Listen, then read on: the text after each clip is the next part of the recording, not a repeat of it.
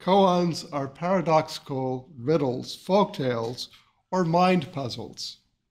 It's usually some kind of question like, what is the sound of one hand clapping? Another koan is the question, what is your face before your parents were born?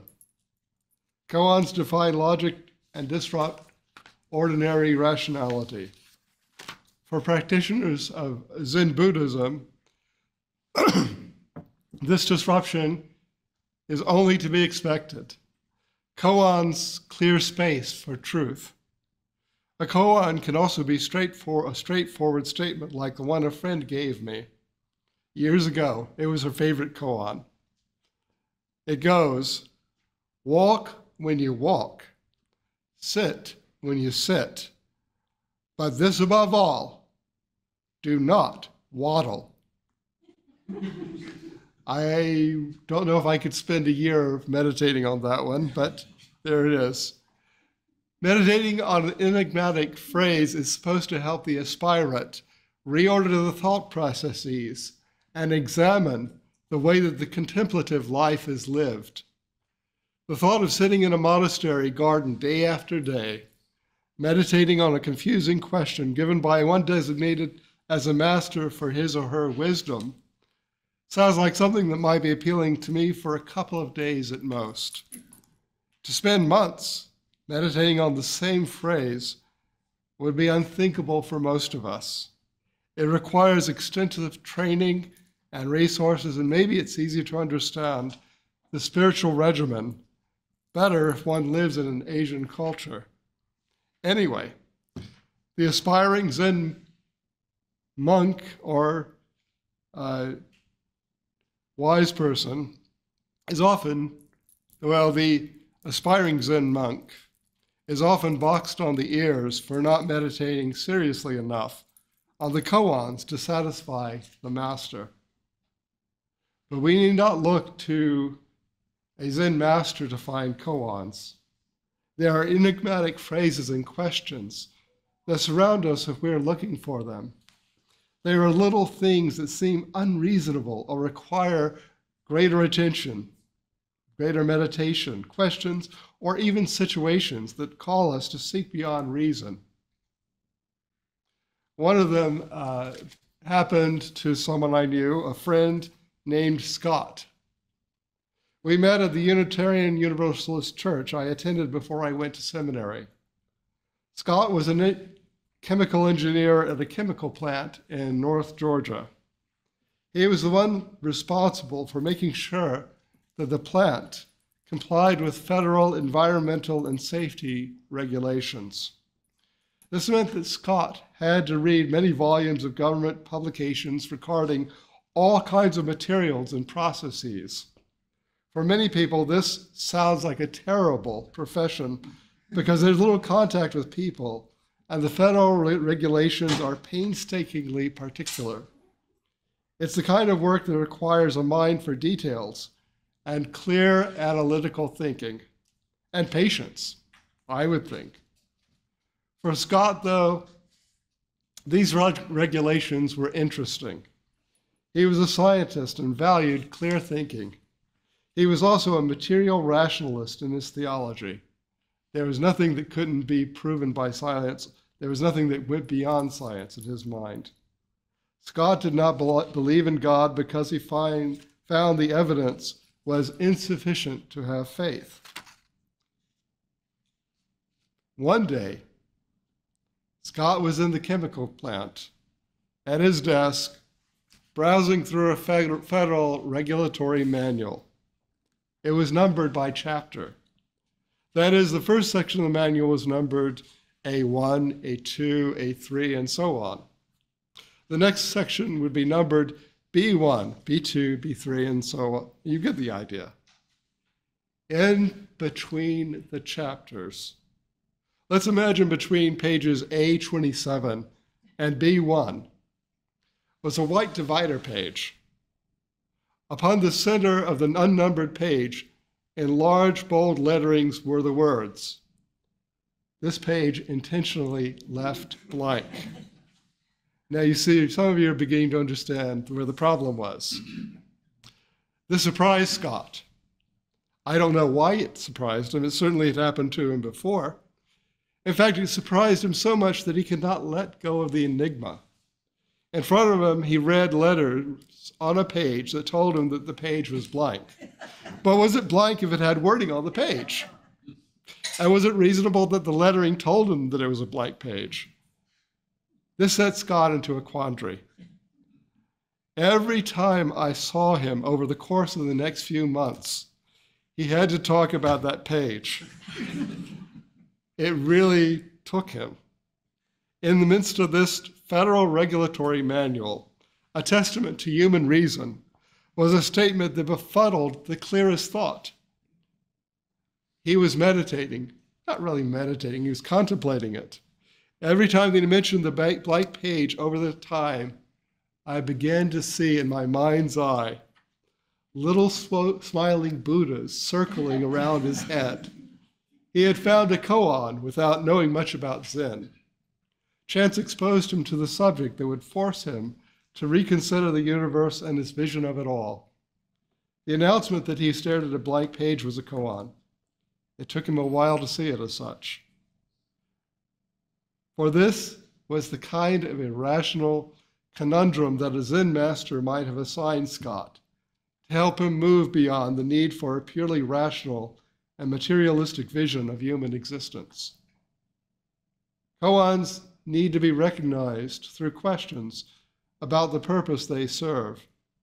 We may see something that our monkey mind, as Zen masters call it, initially ignores. It might be brought out by a kind of critical question about the statement that moves us to look at the irrational. For example, on the doors leading to the main terminal at a California airport I went through about 20 years ago, was a sign in large letters that reads, No dogs allowed. In the smaller print below that, those words were the words, except for seeing eye dogs. That's what they called them back then. Who was supposed to read that small print? it was a koan. I believe because it, it asks us to look at all the possibilities and perhaps see the unreason in human nature. Even here it is possible to find statements that are somewhat enigmatic. I know I've, I've written about this before. Uh, my colleague Carl Scoville calls the Christian koan, by living we die, by dying we live. You need to know a little bit about Carl. Carl grew up in a Buddhist environment, even though his parents were Presbyterian missionaries. They were medical missionaries to China and spent some part of his childhood in a uh, prisoner of war camp run by the Japanese. So he knew Buddhism quite well and he knew Christianity quite well. And maybe combining the two was part of his journey as a Unitarian Universalist. But that's his koan, the one he sees. Koans are like that. They intentionally turn reality upside down to move the one meditating to another place. It's an interesting exercise to find them when they occur in a sign at the airport and in something like a regulatory manual. It is the stuff of intellect to see the irrational where the irrational is assumed. Finding koans might seem like a pleasant game that exercises the imagination to see the irrational in the human world. And that way, koans might seem a little like a parlor game or totally irrelevant to our experience. but there are other kinds of koans. They are the kinds that are as enigmatic and unanswerable as the one the Zen Buddhist monks give their students but lead us to search after the answers and require some suspension of reason. Reason does not provide answers to these koans, and the urgency of the response to them is dictated by a crisis. They are the questions that people ask when something terrible has happened, when nothing in the world seems to be rational. We turn to each other to hear for one moment a response to that which is unknown. Most people, most of the time, are caught up in the delusion that they control their lives. We seek this or that goal and calculate how to maximize pleasure and to minimize pain. Zen teachers suggest, however, that living a calculated life can actually impede the experience of pleasure and bring its own kind of pain. Koans, by absorbing one's attention and defying reason, can release one from the emotional clutter of constant calculation, cause and effect, freeing one to live in the moment as it opens to eternity, where one can find bliss in the most simple act, such as breathing. This experience is what the Buddhists call enlightenment. This experience of koans is intended to liberate one from calculation and sometimes the illusion of reason. Most of us assume in our daily lives that tomorrow will be like yesterday. We will get up in the morning and do the things that we do every day without much incident. We will enjoy the day, talk to our friends and family, much as we did in the past. Life goes on in those same patterns as before. We expect this to be the way things will always be. Then something happens and we wind up being in the hospital or somewhere wondering what is going on. When I was training in crisis counseling for my student chaplaincy, I was told that the thing that many people ask in an emergency room or the sick bed is a simple question Why me? Why has this bad thing happened? How can God or the universe permit this occur when I've always tried to be a good person? It's an essentially religious question that strikes at the center of our universe and uh, at the center of our natures. We assume that we will never be the one asking the question unless this happens to us. For many of us, this might sound like the kind of question that people who are religious conservatives, who view God as a protector, always looking out for them, might ask. But it is larger than that. It is asked in many ways.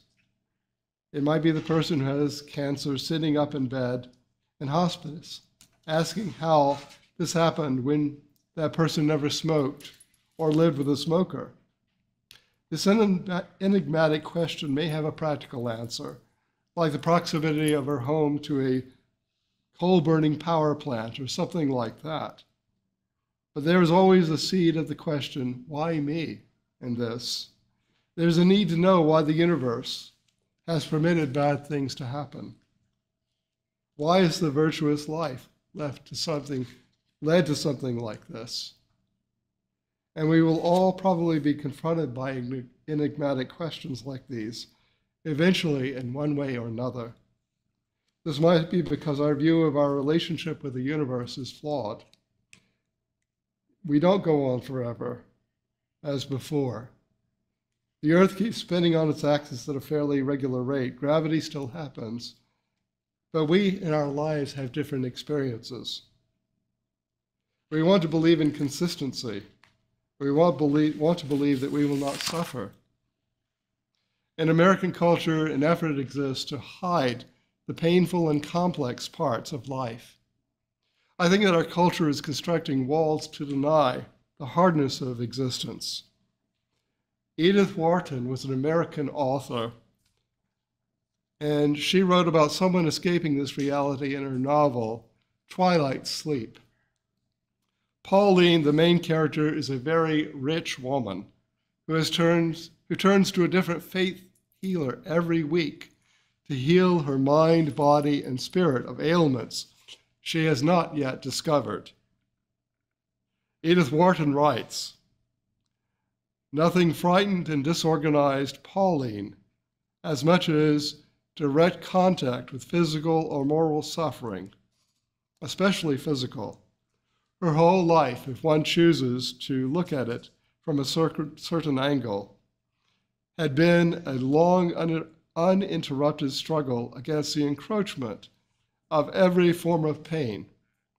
The first step always was to conjure it, bribe it away by every possible expenditure, except of oneself. checks, surgeons, nurses, private rooms in hospitals, x rays, radium, what, whatever was most costly and up to date in the dreadful art of healing. That was her first and strongest line of protection. Behind it came such lesser works as rest cures, change of air, a seaside holiday, a whole new set of teeth, pink silk bedspreads, lace cushions, stacks of picture papers, and hothouse grapes and long stemmed roses. All her life had been used to buy all, buying off suffering with money or denying its existence with words, and her moral muscles had become so atrophied that only some great shock could restore their natural strength.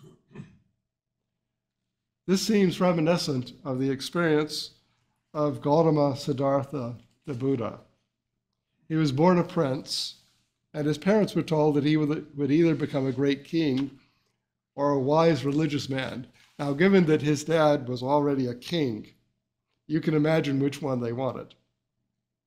Hoping that Gautama would become a great king, his parents took great efforts to make sure that their little princeling would never witness suffering.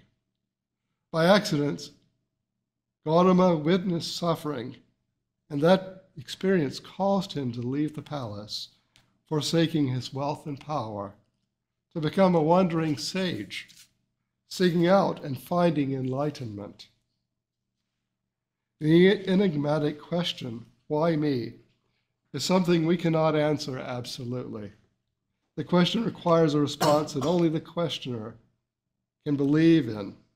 He or she looks onward to assess the world. Koans are given as, an, as enigma because life is full of enigma. It is our delusion to believe that we can control all the events of our lives, that reason alone dictates the course of human existence. Many of us expend much energy worrying about the future. I myself have been very guilty of this. Without, we, this journey can be fruitless at times. I, when I was in just attending the Unitarian Universalist Church, I wanted to get into seminary. So I worried about getting into seminary. I got into seminary, then I worried about getting the right internship, the right uh, right training. Then, once most of that was accomplished, I worried about going before the Ministerial Fellowship Committee. And what the very day that I received fellowship from the Unitarian Universalist Association, I moved directly, immediately into worrying about finding a ministry position. I didn't even take a moment to just bask in the glow of that moment. I immediately looked so far to the future, I could not be where I was right then. Worry is entirely fruitless unless it motivates one to plan for the future or to, to try to plan for the future. Most of us went to school hoping to become educated and perhaps to prepare for our professional lives. Yet we might, though we might plan for the future, None of us knows what shape it will take. Like a Zen Buddhist, Jesus of Nazareth said, Who can, by worrying, can add a single hour to his life? Simply put, the act of calculating the future and worrying about its outcome is not necessarily going to enrich one's life. Making plans can obscure one from being here and now. It's too easy to obsess about the future planning for the day that will come and when it arrives to move on to the next plan. It's not fitting for us to come up with an answer to the koans that are given to us and say that one is correct. We accept that everyone must confront the universe or the divine on terms set by the experience of one's own life. As Yun Min, a medieval Zen master, wrote, the master can only bear testimony. If you have gained something from within, he can't hide it from you. If you haven't gained anything, he can't find it for you. This is an important reason that I am a Unitarian Universalist. I know that the response to one hand clapping, do not waddle, or why me, should not be given in our tradition, but must be developed from one's own heart. There is a need to accept that the universe is not all sameness, not all given to narrow interpretation, and that everybody has to think the same things. In closing, may we find the responses to the koans or dilemmas. May they show us a way of being that is clearer and more deliberate and more present in the here and now. May we not waddle. May our reason be challenged and our faith deepened so that we might understand better the universe and our place within it. So may it be with all. Amen.